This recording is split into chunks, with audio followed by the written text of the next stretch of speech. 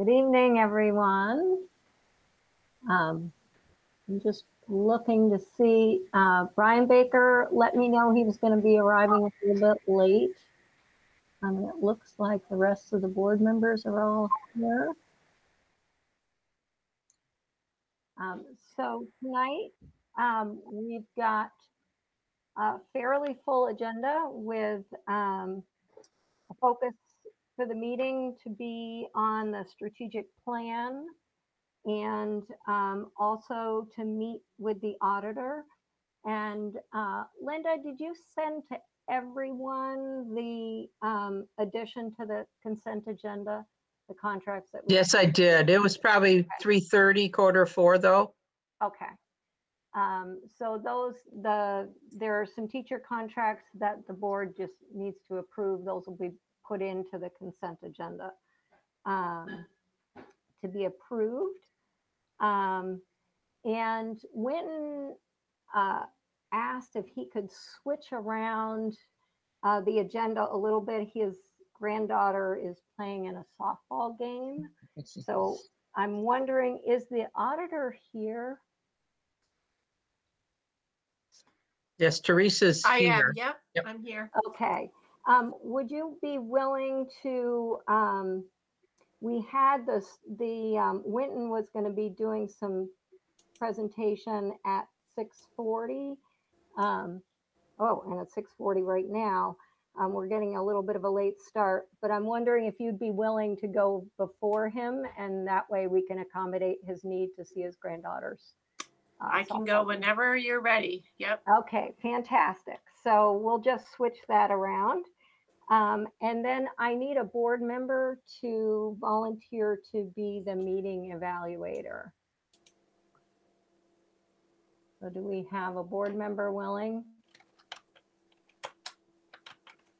Okay, looks like Chelsea is willing to do that.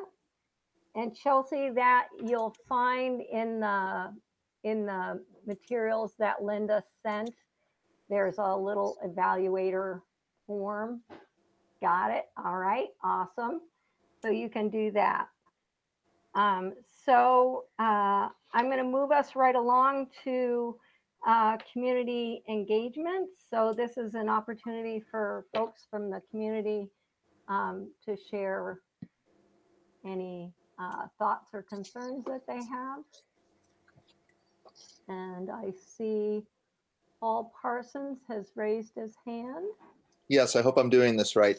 I'm actually the union representative, um, part of the liaison bargaining team for healthcare, and I wanted to give you and the public an update on negotiations since they've started on the 27th of April. Is this the appropriate time to do this, or? I'm not sure. Uh, Well, you have three minutes. No Um, problem. So if you want to update us on that, that would be fine. Sure. Greetings. Uh, my name is Paul Parsons, and I am the driver's ed teacher at the high school. I'm here representing the OSEA as the liaison to the Vermont NEA Healthcare Council. As you're likely aware, negotiations over the next statewide health insurance agreement for Vermont's public school employees have begun. I want to briefly update you in the progress. Um, we believe that open communication between teachers, support staff, and members of the board is critical to ensuring affordable, accessible, high quality healthcare for employees. As you know, we have a 10 person team with five commissioners appointed from the School Boards Association and five from the unions, representing public school employees from NEA and AFSCME. We met for the first time on April 27th with the third party facilitator just to engage statements of purpose, interest, and objectives. And they allowed them to ask clarifying questions and to set up for the next meeting.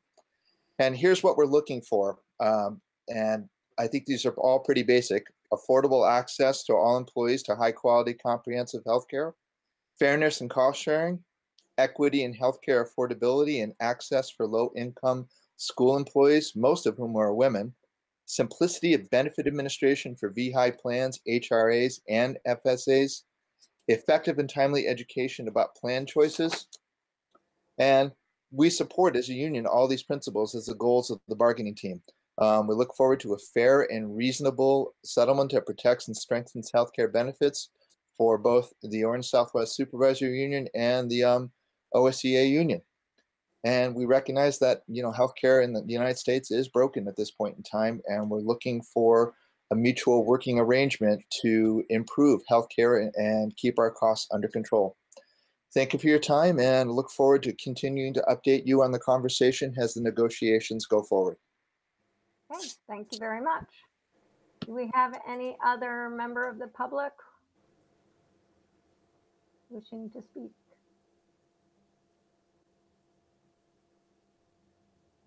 Okay, I I would like to. okay, Nora? Hi, thanks. Um, Nora Skolnick, I, uh, resident of Brain. We Temporarily lost you.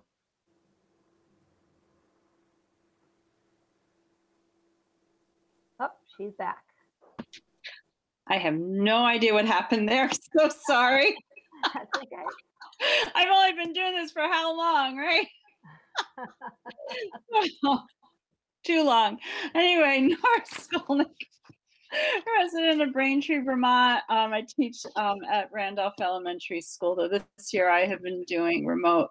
Um, I just wanted to uh, thank the board for their um, recognition um, for the Teachers Appreciation um, Week. And I thought just, you know, I, I realize that most of you are aware, but I thought it would be good just to quickly state just some of what it's been like this year.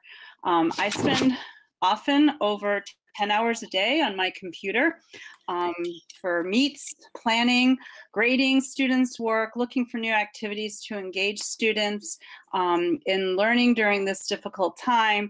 Um, I deliver books and supplies and um, do all of that because our students are worth it. So um, thank you. All righty. Do we have any other folks who would like to speak?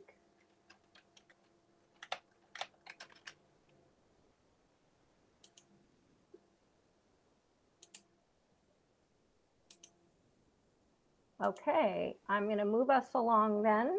Um, and I see that Winton has um, arrived. Winton, we were able to switch you with the auditor, so we're going to have um, the auditor go next, and then um, we have a, a brief just uh, discussion on board training, and then we'll start in with the strategic planning information. Yep. So um, we'll hear from the auditor next. Okay, uh, hi, everyone. Um, I'm uh, Teresa Kajensky from Fothergill, Segale and Valley, um, an audit firm in uh, Montpelier, Vermont. Um, we've been auditing you guys now for maybe five years, uh, definitely four years. I think maybe this was our fourth year. Um, I believe you guys all have copies of the audit and have received them. I was going to kind of just go over the communication letter, which um, is just a three-page letter that uh, is addressed to the school board members and management. Um, so the one thing I wanted to say that this was a clean audit. It's called an unqualified audit, and um, it's the best audit that you can get. And excuse me. Oh, oh, excuse me. Hold on. I my daughter something's happened. I have to pause. Sure.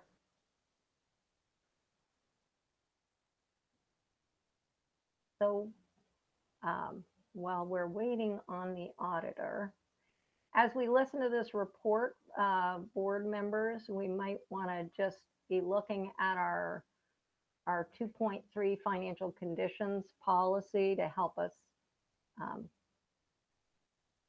sort of evaluate how things are doing as well as our asset protection policy, which is 2.6.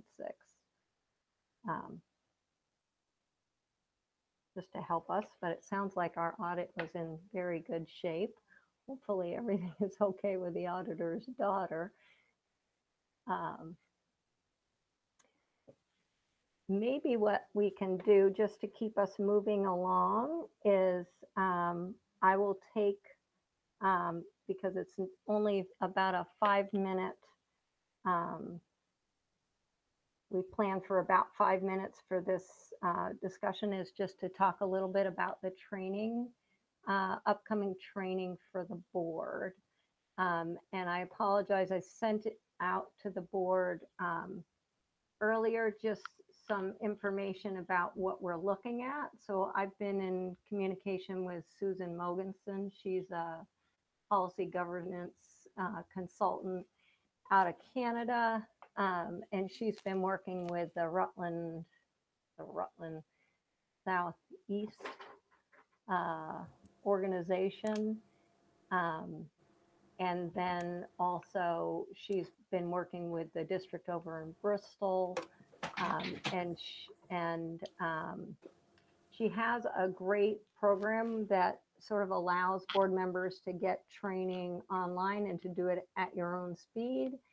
It's about five to six hours of sort of online videos and then, um, we can come all together at our retreat and be able to kind of digest everything that everyone's learned and um, and then uh, have uh, an hour consultation with her at that point and then um, as we look at our agenda for the for the coming year sort of look at and have her help us facilitate sort of making that annual agenda and making sure we're um, clear on what our what uh, what we should be doing. So, um, as the board chair, one of the things that is in my my uh, role is to is to make sure the board is functioning well and getting the education that we need. So, um, given that we've tried to use VSBA folks um, in the past, Val Gardner is the one who um, has policy governance background. She's often hard to um, to schedule, so I figured we might as well try this gal.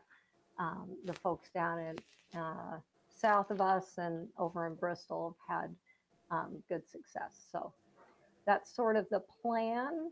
Um, are there any questions? Hannah, I know you were sort of wondering uh, about sort of the process or how I came to decide that. Um, I, uh, yes, uh, the agenda item, I, I guess it's further along in the process than I thought it was. So I was surprised to get your email today, um, describing a specific training with a specific person and a specific time commitment. Um, I thought this agenda item was something we were going to discuss about what we wanted to get out of the training, but, um, I could have misunderstood where we were in the process. That was my concern. Mhm, mhm. Okay, so I see our auditor Yeah, sorry about that. You made it back. Hopefully everything is okay. Um, and you It's, can. it's okay, yeah. Okay, wonderful. um, okay, so back to there's a the communication letter. There, it's a three-page letter that's attached to the audit, and I'm just going to kind of talk about a couple of the um, items on there. Um, so again, the audit was a clean audit. It was it called an unqualified audit. We had no specific um, significant deficiencies or findings to talk about. There's a couple suggestions that we have at the end of this letter, but nothing rose to the level of um, a significant deficiency. So uh, the first part, I just kind of wanted to say that there are um, something called corrected and uncorrected misstatements where we propose journal entries or we find things that might be a little bit off but are not material. And the things that we found that were um, not exactly right or chose not to do were four items. And one of them was um, the in 2000, June 30, 2019, the compensated absences were a little bit understated. Um, the the 2000 2019 and 2020, um, prepaid assets were understated, and that had to do with um, purchasing some equipment. Uh, the current year, so the 2020 um, FSA liability was a little bit overstated. And uh, the accounts payable was a little bit understated. When we do a test, we look at things that get paid after the end of the year and see if they belong into, they should have been booked at June 30, 20. And we found a few and we decided that they were small enough not to book them. Uh, we only had um, two adjustments to the financial statements and they were not material. And that was a, uh, a very big improvement over the last couple of years. And a lot of it kind of had to do with the consolidating, you know, working things out. We had uh, no disagreements with management. Um, we didn't consult any other independent auditors for any help. Um, and then there's some other uh, issues that I wanted to talk about. One being there's still checkings and savings and investment accounts that are not, or at least at this point, which was, I think, even still of January, um, that were not in OSSD's name. They were still in the old school's name. It's they've been slowly, you know, the big accounts obviously were transferred right away, but it's kind of like the small scholarships and and agency funds and and stuff like that that have were not at that point all transferred over. They could be right now, but they weren't at the time that we issued this audit. Um, and again, we've been talking about this, but the scholarship funds and the agency funds really need to be in the accounting system and and recorded in the accounting system. They're kind of done outside the accounting system. And you know by different people in the schools and we have to kind of pull that together. Um, so I, I really think those really need to be done in the general ledger along with everything else in the system. Um, there's something called GASB 54 which has to do with a fund balance reporting um, you the board needs to adopt a policy um, to discuss the different levels of the fund balance. And this has just never been done uh, today. Um, Robin did reach out to me and ask for a, a policy that I could give you guys as an example. So I will forward one to her uh, probably next week or later on this week. Um, and so we do Teresa? continue to recommend that. Yes? Can I just, inter- what does, what exactly does that mean?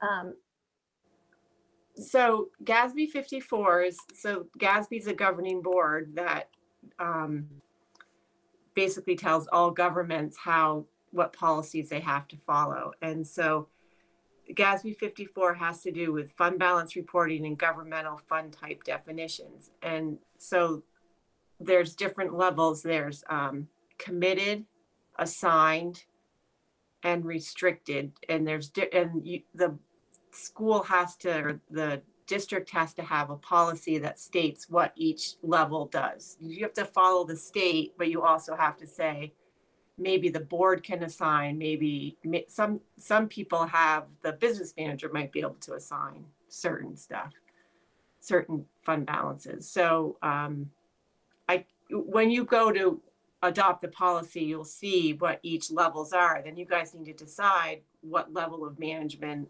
has the ability to do that.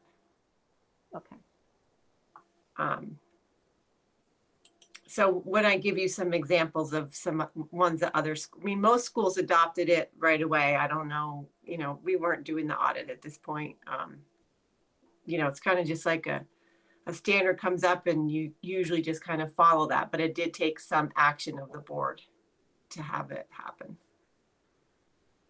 Um, so the, the other issue, what happened due to COVID, like everything else, there was some new funds that had to be done according to the state, basically moving expenses out of, and you're probably well aware of this, but moving expenses out of your general fund into a separate fund because you're going to get the COVID money that that covered those costs.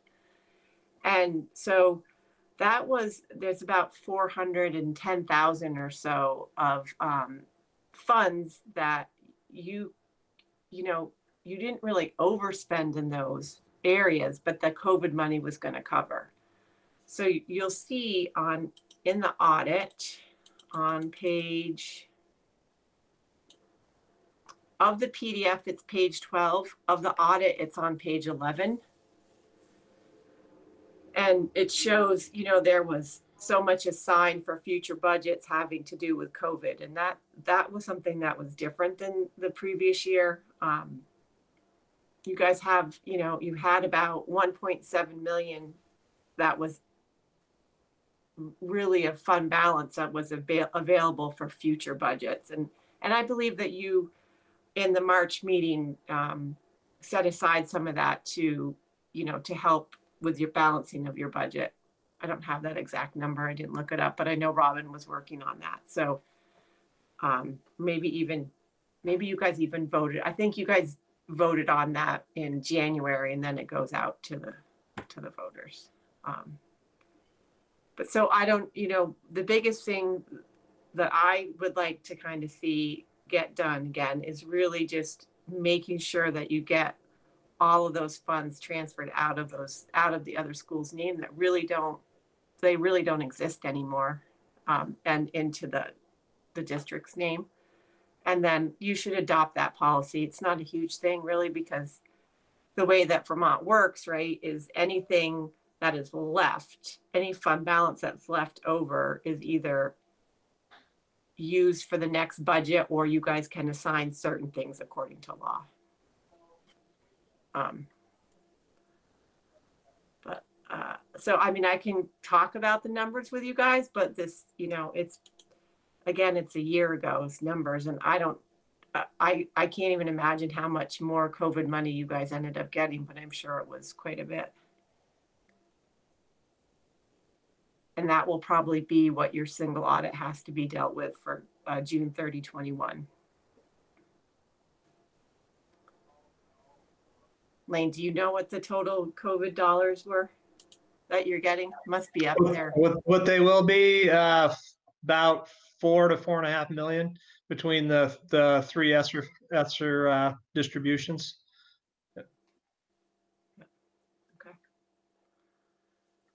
Um, So do board members have any questions for Teresa?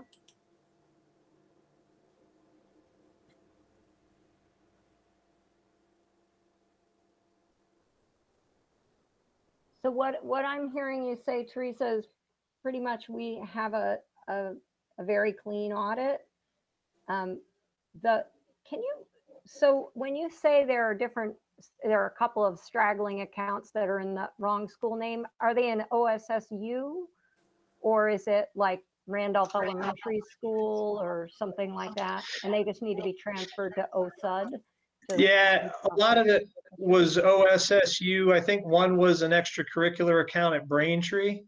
Um, we actually, we fought with a bank for a while because, um, they wouldn't allow us to transfer it into the new names until we had the old name of the person that signed up for the account originally, which can, who- person who can no longer be found, um, signed off on it. So we've been going through a legal process to try to get these changes to happen. So this has been a work in progress for six, seven months now.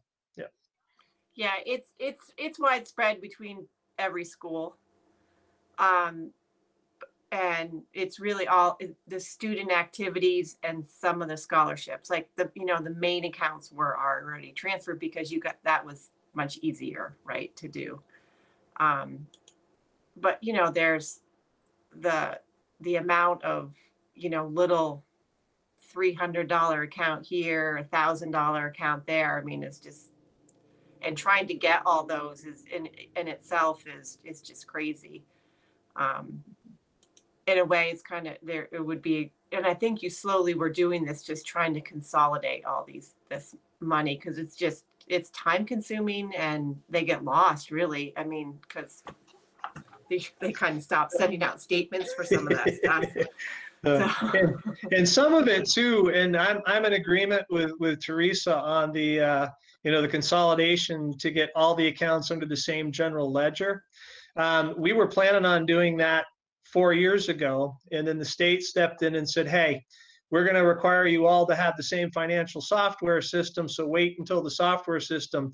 So we've been waiting until the new financial software system comes in from the state that's capable of doing this. But they're at the point now where that software has been so historically bad that they're having discussions now about whether they're just going to dump it.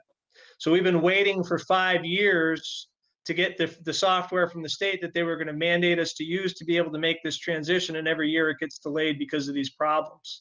And so that's the reason that this one's kind of hung out there so long, just so people are, are in the loop. So the intent is there. We just eventually we may, you know, if the state finally dumps it, then it means that all the districts will go and buy their own, you know, upgraded software packages, which we'll have to do too.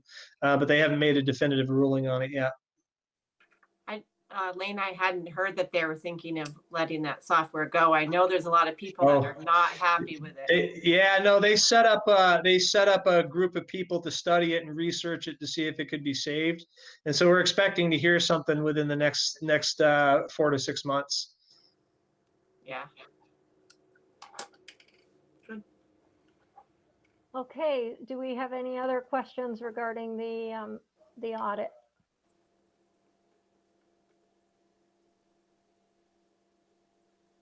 Okay, um, thank you very much, Teresa. Thank you, and you Uh, guys have a good night. All righty, Okay, bye-bye. bye-bye.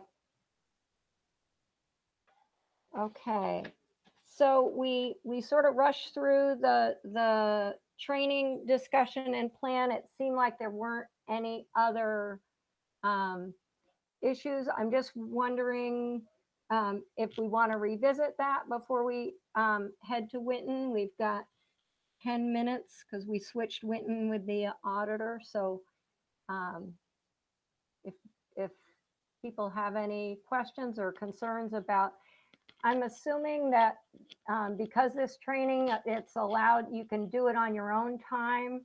And it's about five to six hours of commitment between, say, the mid, middle of May, when we can get access to it, through to our first, our, our retreat board meeting, which will be in July. That gives folks quite a bit of time to try and digest that information. And again, basically what it is, is a tutorial. It's going to move us all sort of through how our policies work, um, what the philosophy is behind them, and um, and then hopefully uh, in that July retreat, the first hour we can meet with Susan and just make sure that everybody sort of understands those concepts. In the training itself, there's going to be some uh, some little quizzes so that you really sort of um, have to uh, get a, a good understanding of that information. And then we'll have access to that information for six months from, uh, I'm, I'm assuming uh, I can get things started by mid-May so that you'll have access to it. And we'll have a good um, six months of access to that uh, training material to review if we're sort of struggling with a certain concept within it. And if if I I don't mean to be a negative Nelly here, but Mhm. um, the the time commitment, it- it- I I understand wanting to put that much time into training, and I understand it to the extent that I do training on my own time. And what I thought the training using our meeting time would be much more in person. So is, is this about wanting to make sure that we're attending the same training and all getting the information? because six hours on top of the training that I've tried to do on my own, on top of my full time job and my parenting, it, it it's a lot. It's a lot, Mhm. and then to come to the training and just kind of uh, summarize it together or or or a quiz on it. I, I, I- see the value. I don't mean to be dismissive.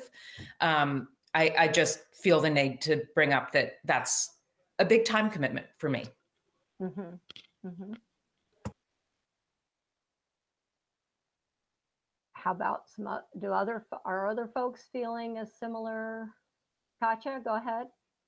Um, and I, I apologize, my camera's off. My internet for some reason is keeps wanting to fade out when I put my camera on.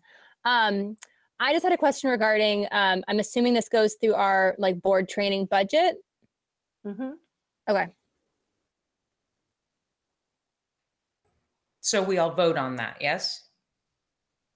That was my that was my question as well. I'm assuming that if we're spending board funds, then we would have that would have to be a board vote to spend those funds on a topic like this. Correct me if I'm wrong, please. Uh, There is, we are supposed to budget, I'm looking at our policies right now. Um, And um, the budget is, is set each year and um, at the, at the agenda meeting, I spoke with Lane and he, there, we are, we have enough money um, for, for the training um, in there. And if we needed a little bit extra, Lane had said that um, he would be able to, to make that, that up. So, um, and the cost, I had it figured on one. And uh, so it's, let me just, I can do the math quickly here. Um, so Lane will be doing this training with us, so it'll be um, three thousand seven hundred dollars. And the last I had heard from Robin, we had um, we had that money in the budget, but we hadn't finished out um, the payments for Winton. So um, it sort of depends on on that coming in, but Lane had said that we would have enough to cover it. And hopefully, Hannah, with this training, you won't have to do additional training on top of this training. This hopefully can replace your, your, the training that you're trying to do on your own. Well, this is on one topic and the, you know, they offer the VSBA, the emails come in and they offer lots of different topics. So it, it, it won't replace what I'm trying to learn about them. Okay. Well, given our policies and given some of the difficulties we've had, just sort of making sure we're understanding our policies and following our policies. um, As the board chair, one of, one of my, the, the job description for me is that I'm, I'm supposed to be working with the board to get the board so that we're performing well. um, and performing uh, according to our, our policies. So um, I feel like this is a, a, a good option if you, you know, we all have time commitments. So if you, if you don't quite get to everything, as I said, you're going to have access, we're going to have access to this information for six months, starting mid-May. So if you, if it turns out you don't quite get to everything, you know, you'll, you'll be able to, to have access to it. Any other board members um, feeling like this time commitment so- is uh, too much?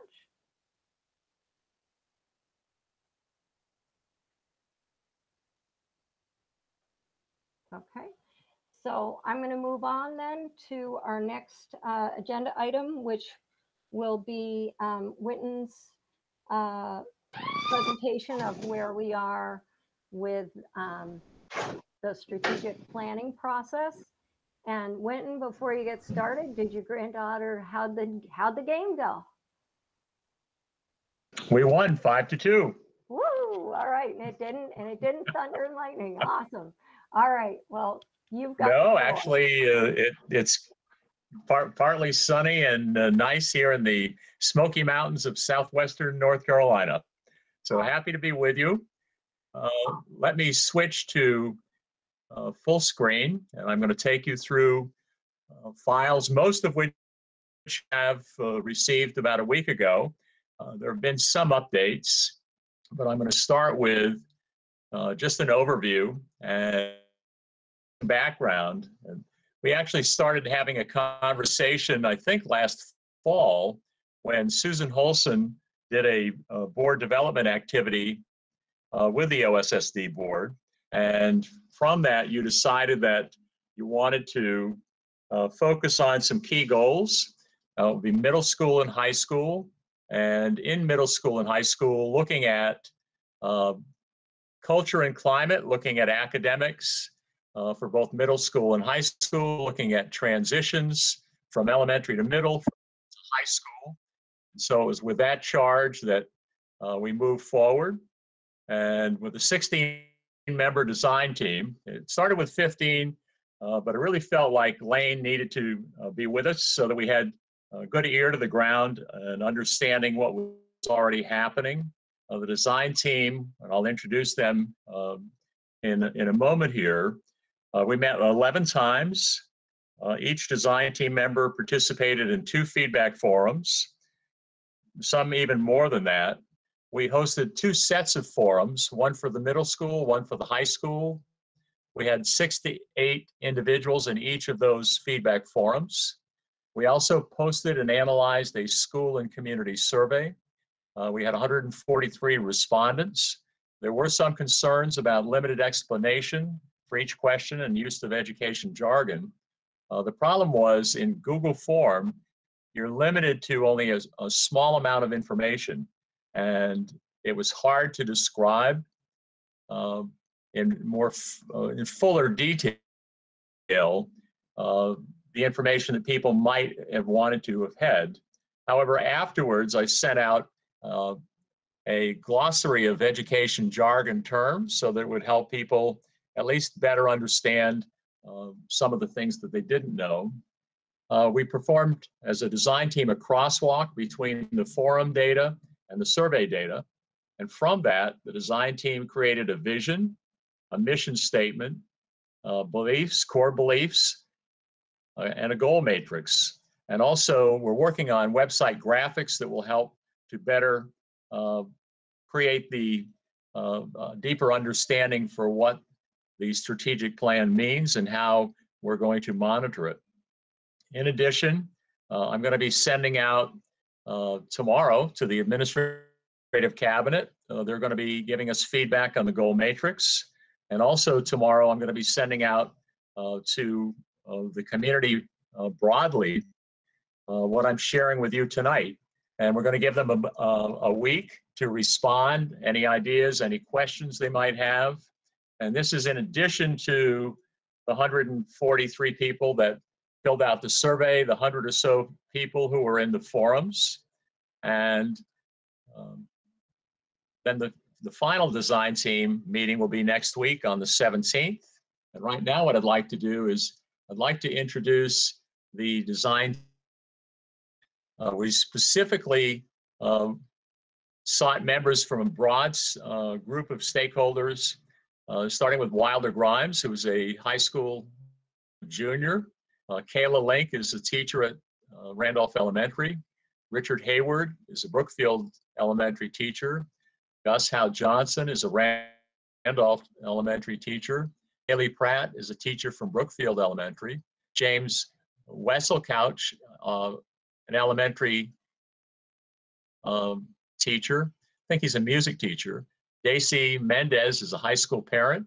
Heidi Arias is a nonprofit organization, elementary parent, also runs the, uh, the recreation department.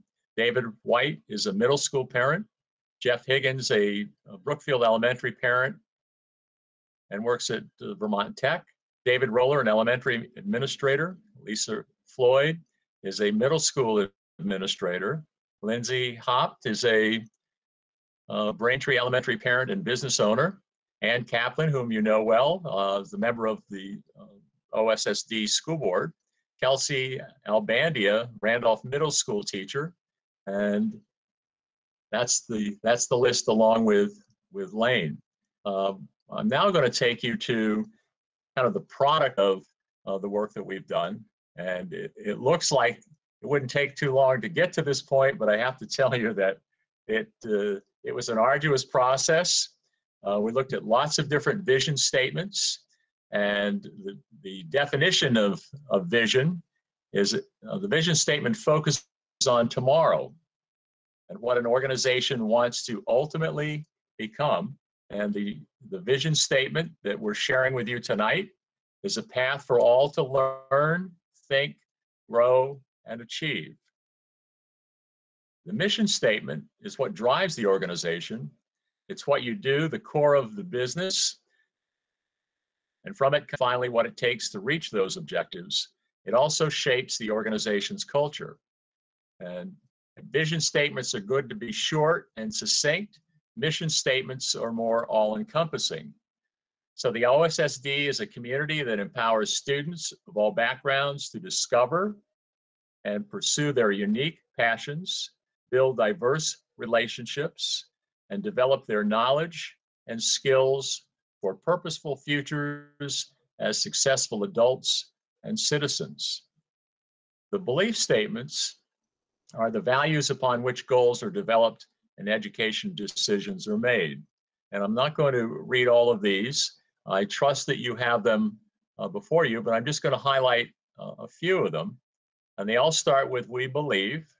And so the first one, educators and families together inspire students to confidently advocate for and design growth experiences and personal learning plans that help them define who they are and where they're headed as adults. Another one, all students and staff are invaluable and have access to a learning and working environment that fosters physical and emotional health. And the last one, students require staff who have access to ongoing deep investments in training, professional development, and support. And at that point, I'm just going to shut off my screen and just ask your thoughts. Um, any any immediate uh, response, anything you like, anything you don't like, anything you need further clarification on before I take you to a much more comprehensive goal matrix. Any, anything jump out at you here?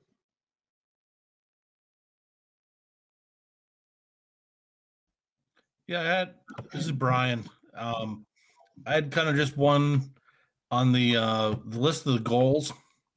The uh, the one Uh-huh. goal about being an environmental steward. It just Yeah. seems kind of out of place with all the other goals, because every Okay, now other goal talks about students and staff and parents, and that one, it just seems Okay. kind of out of place, or maybe it's the way it's written, but it uh, Okay, it just looks kind of right. doesn't kind of fit in with the, all the other goals. okay. Let me just underline it and I will take that back to uh, design team. And just with a side note, uh, look at fit and language. Okay. Any other thoughts? Anything jump out at you?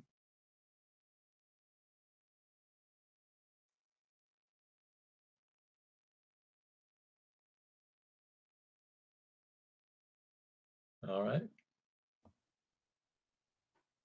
Let me then move to Ho- Hold the on. goal wait, Chelsea- matrix. Chelsea- Hold on, wait, Yeah. Chelsea Sprague had a, had a hand up. Okay, Hi, um, this is Chelsea. S- I, so in the mission statement, the OSSD is a community that empowers students of all backgrounds to discover blah, blah, blah. There's not anything that ties it to the school and education and learning. I don't know if that is on purpose, if that went back and forth. But in, I mean, that could be sort of a mission statement for, I mean, I guess saying students, so they are in the school, but I don't know, it would seem that you would want to tie that in somehow, but okay. I'm just looking at, I'm hearing your response. So you're saying that knowledge and skills, developing knowledge and skills doesn't uh, quite do it yet? um, I mean, maybe it does, but when I read it, I was like, is this for the school or what is this? Uh, Is this for the educators, for the, I mean, I, maybe I need to read it a few more times in order to fully understand it. Okay, Um, yeah, but just something I noticed at first glance. Okay. I'll underline that. Any other thoughts, concerns? Anything that you particularly liked, didn't like?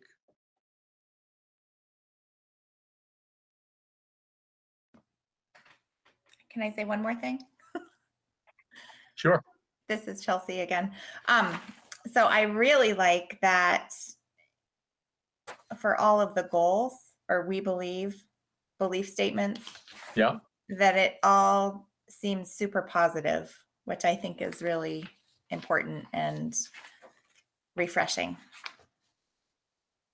okay, beautiful, thank you. Any, any other good, bad, or uglies here?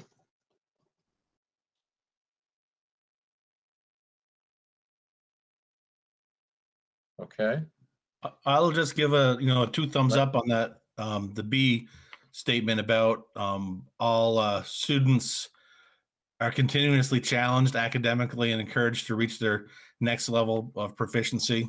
Um, and I think that is one that really needs to be highlighted and, uh, pushed ahead.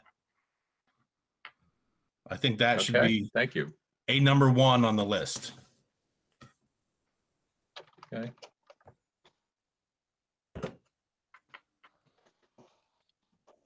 Okay, thank you. Any other thoughts or issues? Any concerns?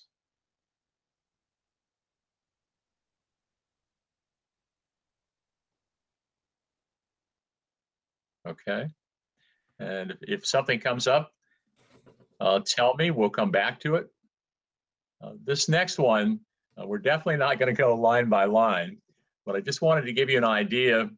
Uh, we talked about vision and mission and belief statements. This, the goal matrix is where the rubber hits the road. You can see in the legend that uh, we have some school board roles that are in red, superintendent role in green, other role uh, individuals are in black, and also uh, to the best of our ability with the consultation with Lane and David Roller and Lisa and the design team, we identified existing initiatives in brown and new initiatives in blue. We also here identified uh, what would be paid for under current school budget and what might be paid for in COVID funds. And so there are four theme areas. And I'm going to I'm going to take you through the theme areas first, and then I'll come back and kind of uh, go laterally from left to right and take you through the goal, the action step, benchmarks, the timeline, who's responsible for shing it through and reporting on progress, then what's the fund source. So the four areas, and, and again, this came from uh, the feedback forums, it came from the surveys, the design team amalgamated uh, many, many pages and, and a great deal of feedback into four theme areas. And the first is school culture and climate. The second is communication and relationship building. The third is foundational knowledge. And we built on the foundational knowledge that you're already working on. And you'll see there's some brown and you'll see there's some blue. And again, brown was what's currently happening, and blue is uh, what is being recommended to happen. And you see it's a pretty long list under foundational knowledge. And then the final one is personal development skills. And so what I think I'll do is I'll work backwards to, to forward. So we heard a lot about social emotional learning and uh, recognizing that SEL doesn't mean a lot to folks. Uh, as often as we could, we put in what it actually stands for and then the acronym. And then as you work through the benchmarks, you'll just see it as SEL.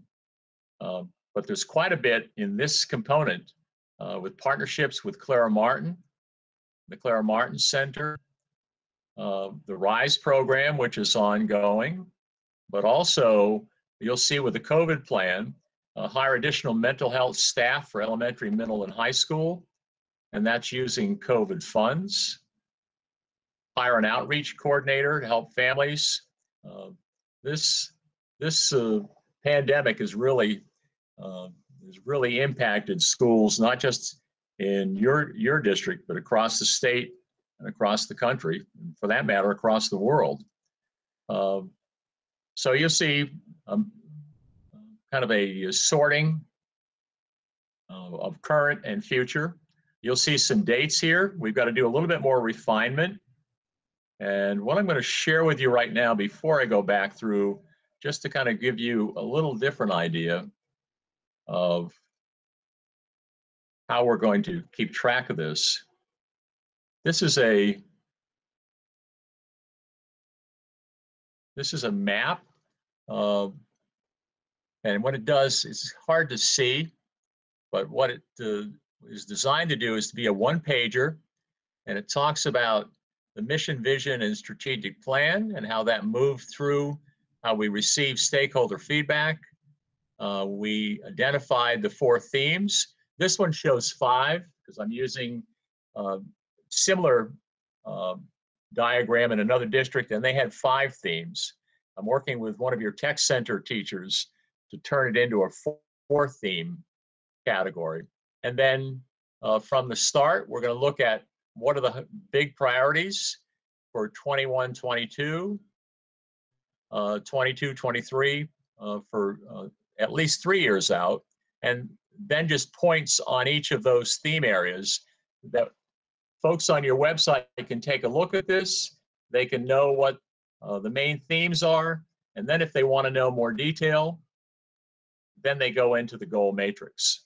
And so there'll be an alignment between this goal matrix and the theme area I'm talking about, for example, right now is personal development skills. You'll see that as one of those colored strands.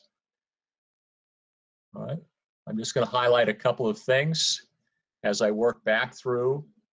Uh, this one is on foundational knowledge, and these are currently are items you're working on.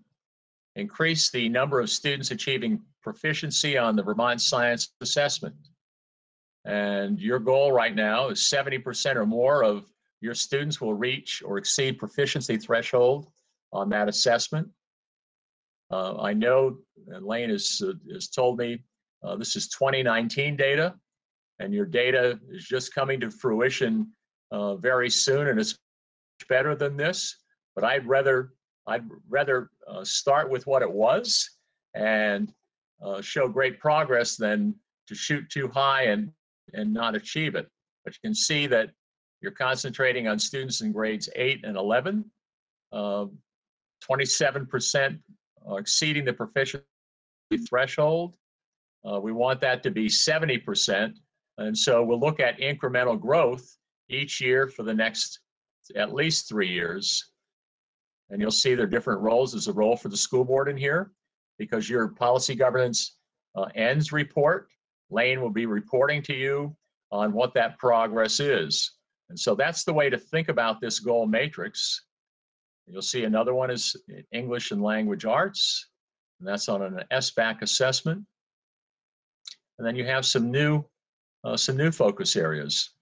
Uh, the state requires all schools to have a personal learning plan for all students in grades 7 through 12. Uh, this one uh, will help um, bring that into compliance, but we also heard quite a bit of feedback from parents and community members on the importance of connecting uh, job career clusters and academic learning. And so that's the intent here. You can see this is the longest list, and it just makes sense that schools are primarily about academic learning, but they're also social emotional learning. They're also how to build uh, teamwork and skills. This one is communications and relationship building. Uh, one goal is improve two-way communication between families and schools. An action step, survey teachers and families to determine uh, preferred two-way communication systems. Work with administrators and teachers to develop monthly communication intervals and content for families. So it isn't just that the schools are telling families what's happening, it's that it's a two-way communication, and that's that's an important goal. And then finally, uh, looking at school culture, the goal is assess school culture and climate from student, teacher, and family's perspective. Student voice was a very big uh, feedback component. We heard a lot of people saying it's very important that students uh, take ownership in their learning. Maybe not first graders as much, but as you work through the continuum, more and more uh, participation. You already use the Youth Risk Behavior Survey. One of the suggestions here is to survey students, parents, and teachers on uh, their voice and aspirations in a, in a survey. So again, this, these are all recommendations. They're going to be fluid and flexible. Uh, you'll have an opportunity as a board uh, to flex that plan. Um, and any good plan always has that kind of flexibility. We may have very, uh, very good uh, ideas and intentions. Things get in the way, and COVID is a prime example of how things get in the way of uh, goals that we have planned out.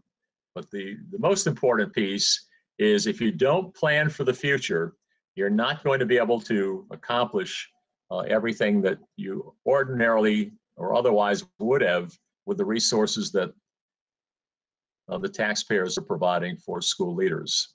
So in a nutshell, uh, what I've talked about is the design team, uh, the vision, the mission, the belief statements, the goals, and we'll have that refined for you uh, to come back to the board in June with the presentation of the final plan. And I think that's around the 24th of June, if I'm correct, Lane. And uh, we'll hand that off to you. Uh, one of the most important things that a board can do here is to make sure that uh, you at least get an annual report on the progress of strategic plan uh, and maybe even uh, semi-annual report uh, because the plan will do no one any good if it sets on a shelf and is not activated. So that give and take and shared leadership role uh, between the board, administrators, teachers, parents, and community are what makes it a living strategic plan. And with that, I'll, I'll step back and ask you um, any other thoughts you have on the goal matrix and how that uh, we might move forward with implementing your strategic plan.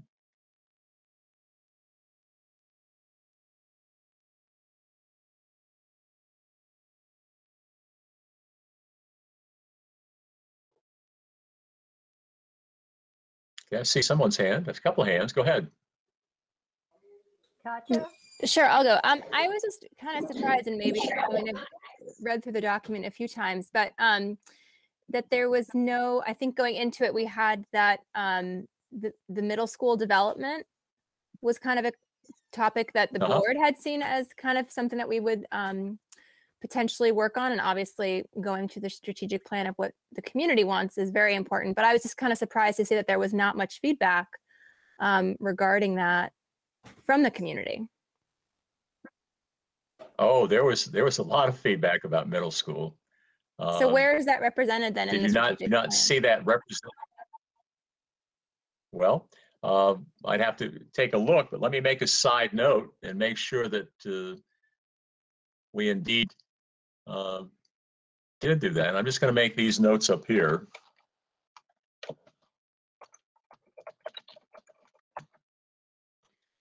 Uh, a lot of feedback about the transition from middle school to high school and from elementary to middle school. I'm quite sure it's been a couple of days since I've looked at that. Winton, this is Some of these may not, uh, yeah. Go ahead, Lisa.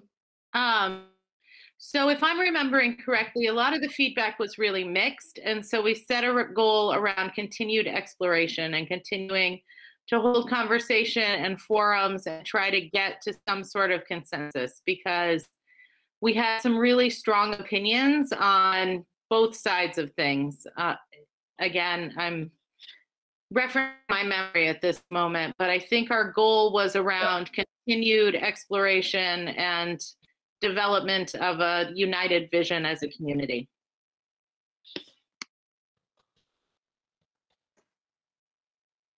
Brian and Chelsea, your hands are still raised. I'm, I'm not sure if you still have questions or if they just forgot to unclick. Any, any other questions for Winton from the board?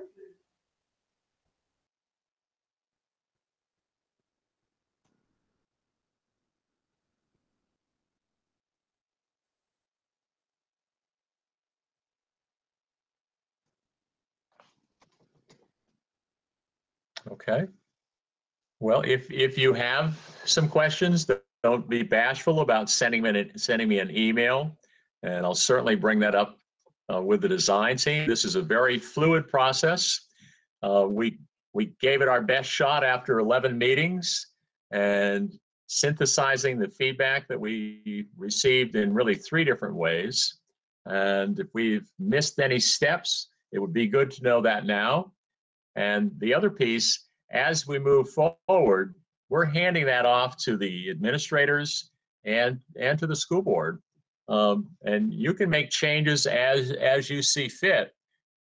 We are just uh, providing you with a foundation from which to continue to strengthen that plan as you move forward.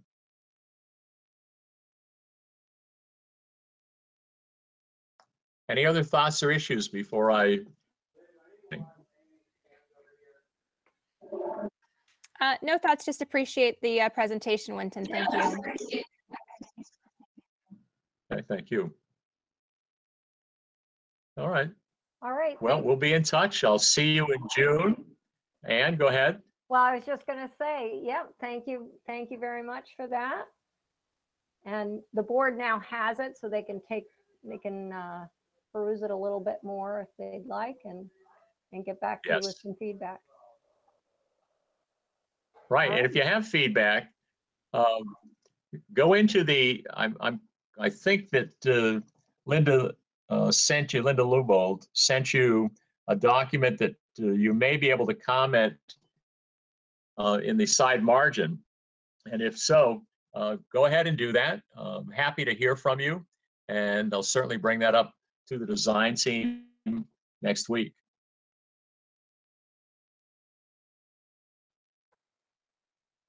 Okay, well, I'm signing off from uh, sunny North Carolina where the birds are singing and the roses are out.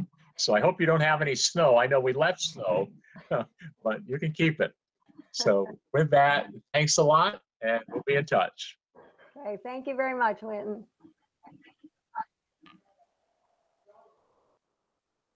Okay, so we're gonna move on um, to uh, just a brief uh, first reading of the Executive Limitations Report uh, 2.7. So Lane, do you want to? I can give a, a general overview.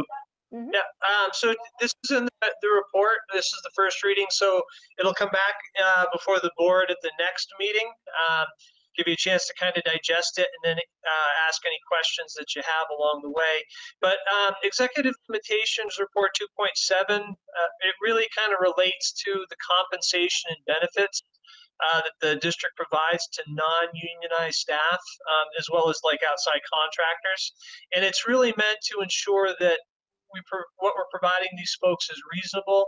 Um, it's comparable to the local mar- markets that we deal with for these services, and that we're not entering into agreements that are in excess of our rev- revenues.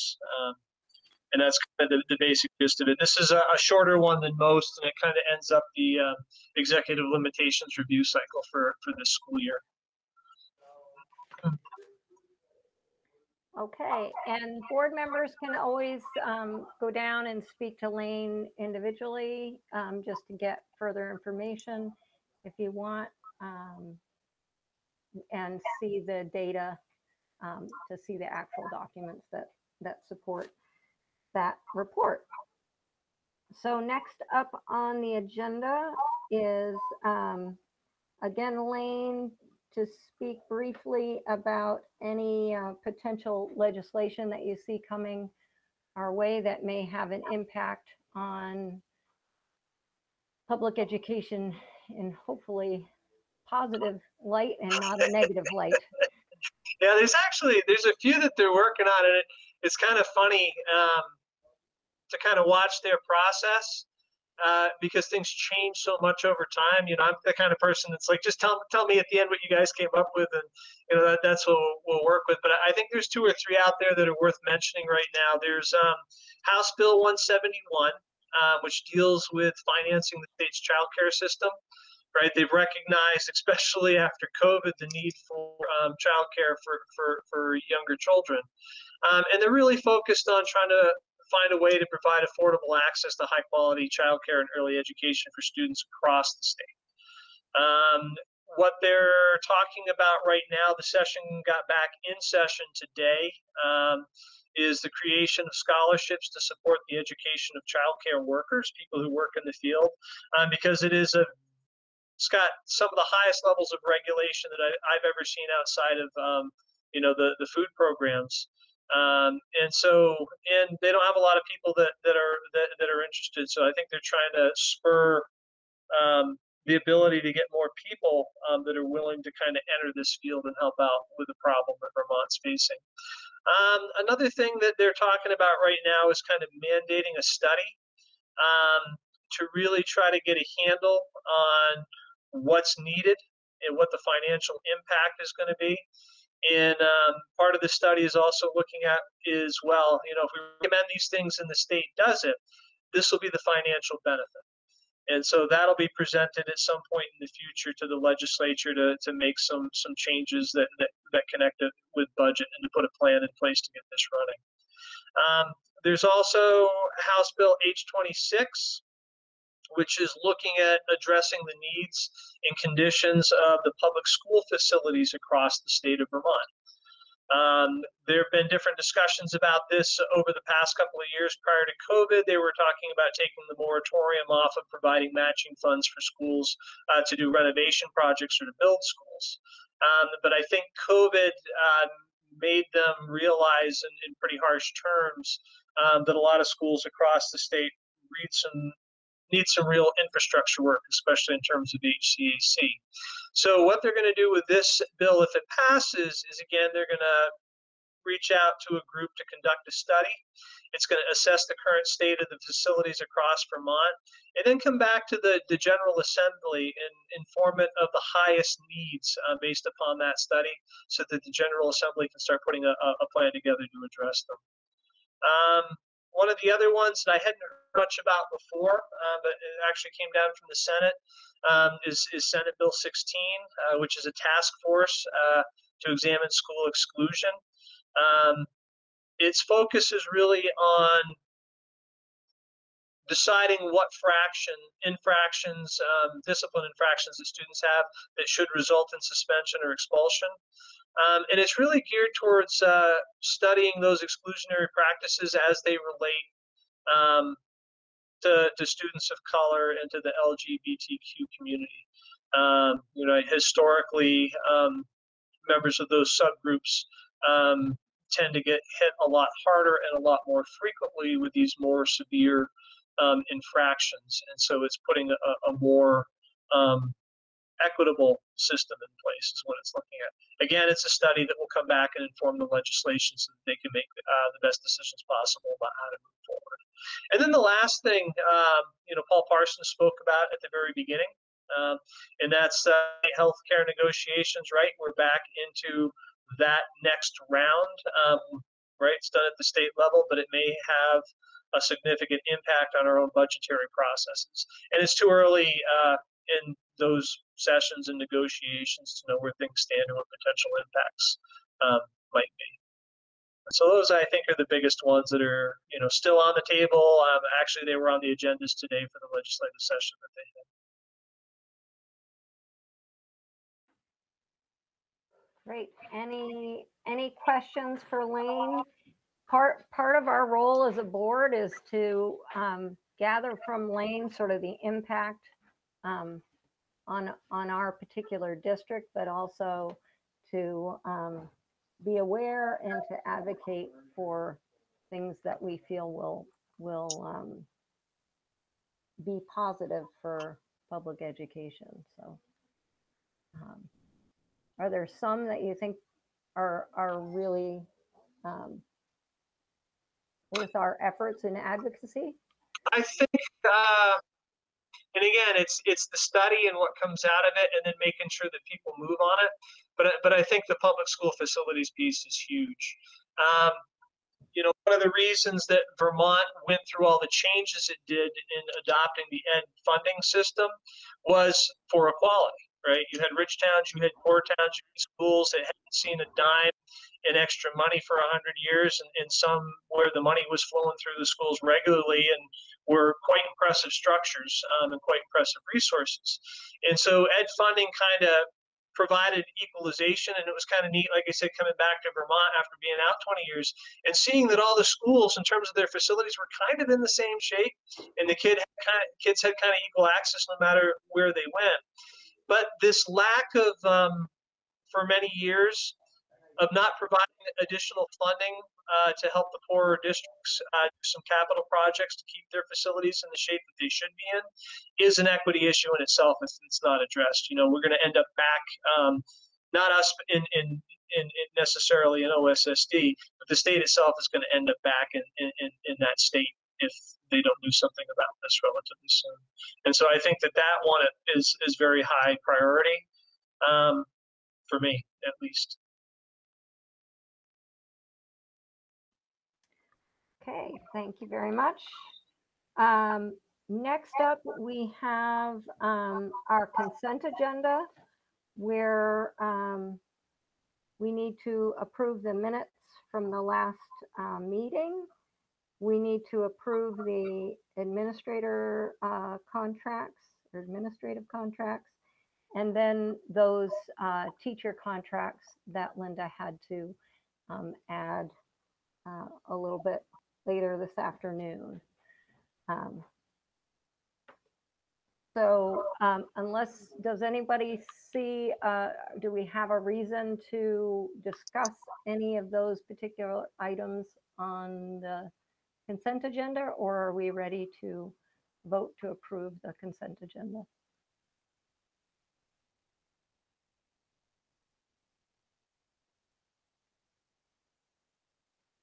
Can I have a motion? I to make a approve- oh, motion that we approve the consent agenda as presented.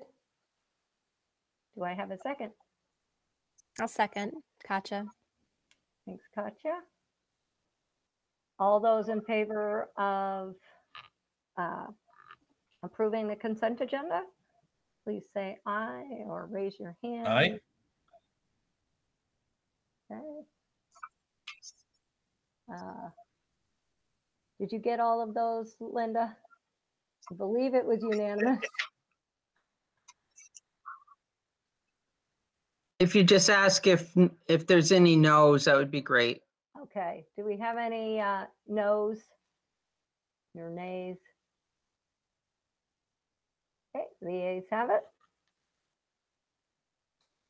Okay, uh, next up are, is our incidental information and reports. So uh, we have the director and principal reports, the superintendent's report, financial reports, and any other additional information.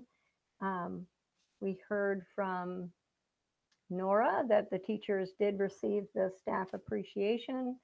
I don't know if uh, Ashley and Katja want to share anything about that or we're good to go. Um, Lane, do you have anything you want to add to um, your superintendent report or things you want to point out? Uh, yeah, I think, I don't, I don't want to go over time, but the, um, just more kind of incidentals. Um, we're currently working uh, with the state to use the RUHS field house as a vaccination site for 12 to 15 year olds um, for the Pfizer exact vaccine. Um, and we're trying to get geared up for May 21st to be the first administration, and then folks will be coming back around um, the last day of school on June 11th um, for the second. And just uh, get the message out there that, uh, you know, it looks like this is on. Um, and we'll get more details out to the community so that they can take advantage um, of this as it happens. Ashley, I might reach out to you a little bit depending upon their needs. They seem to be pretty self-sufficient. They're just looking um, for the space. But the one thing in kind of looking through the list that uh, we might be able to connect with Gifford on is uh, the little separators that are used um, so that there's a little privacy between the tables where the shots are administrators. Um, we have a couple from our um, you know medical program here at uh, at the tech center, but we might need a couple more. Um, but as they get that list kind of finalized, I'll, I'll, reach out a little bit. So just some some good news on that front. Uh, I thought was great. And financially, how are things looking, Wayne? Actually, really good. Um, talk a little bit about the financial report. Uh, generally, about this time of the year, you know, we would expect to have about 16% of our resources remaining. We're above that. Um, so we're in good shape. Uh, we'll, we will be in the black. There will be a surplus. Um, we've been scrambling around uh, probably the last month, month and a half, trying to get all the parts and pieces together that we need to kind of maximize um, the coronavirus relief funds that are coming into us the ESSER 1, the ESSER 2, the ESSER 3. And so that's taken a lot of our time. Uh, but Robin started working today on trying to calculate what the surplus is going to be. And as soon as I have a number for that, I'll, I'll pass that along to the board. Um, one of the things that you will notice um, has changed on the financial summary sheets. If you take a look at the very first page down at the bottom, um, almost directly at the bottom, you're going to see a bunch of new lines in there um, under revenue, right? It's CRF, CRF, CRF. Um, coronavirus relief funds is what that's talking about. And this is beginning to keep track of, of what we've spent. And then it'll keep track of the reimbursements for that spending as they roll in um, so that that's stated. So this is primarily right now what you're looking at is the ESSER one funds, uh, which helped us get through this year. Right, we had to spend a lot of it up front, and now the state is coming around, um, taking a look, making sure we spent it on what we said we did, and then providing us with the funding um, when they're assured of that. ESSER two will will be the next round. Um, like I said, the recovery plan has gone to the state. They accepted the first phase of it.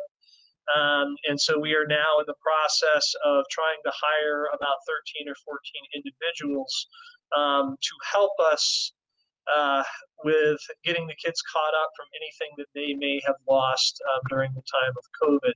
So I am officially changing from being superintendent to human resources manager, along with Linda and along with Robin and most of the, the central office staff, probably for the next three months as, as we try to do that. Um, so there's a lot, a lot of very good, good and positive things that are going on. But um, financial wise, we're in very good shape. Great. Uh,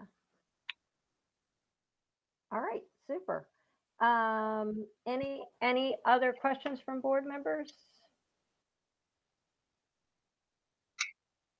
Okay. Uh, so next up, Chelsea.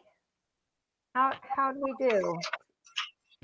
We're actually, it's eight fifteen and we're on board evaluation. Surprise. um, really well. I thought we did really, really well this meeting. Um, mostly fives and fours. Do you want me to go through every single thing or? No, no, you can kind of give an, an overview. Yeah, it seems like we followed the agenda, stuck to the time.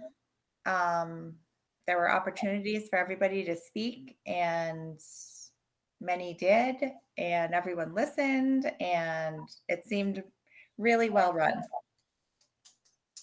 today. Okay. So like five, four, four, five, four, um, five, three, four, four, four. Woo. All right.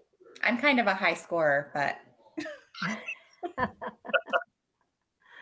okay. Awesome. All right. Well, um, we're now um, going to move into an executive session um, for some personnel uh, issues. And can I just uh, speak? I just wanted to say the teachers and staff appreciation was well appreciated.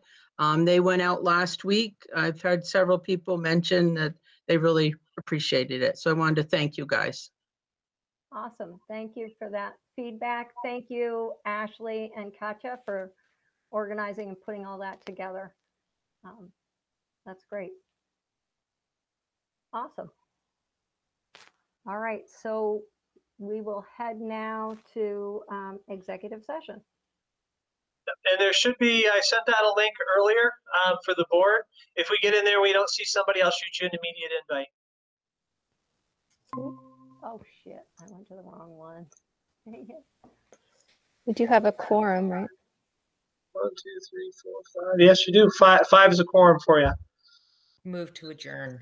I second. Oh, but Anne has to take the vote, doesn't she? There she There is. she is. I went, I went into the RTCC. I was like, hey, guys. And I moved to adjourn and Katja se- seconded. Awesome. awesome. Don't, do we have to have a statement that, uh, we, that Oh, no yeah. action was We taken? always forget that. No action was taken from executive session? So noted. Okay. So are we ready to uh, move to adjourn this meeting? Yep. Okay. All in favor, raise your hand. All right, all right. We're out. Okay. Awesome. Have a great night. Thank you. Take care. Bye-bye. Bye.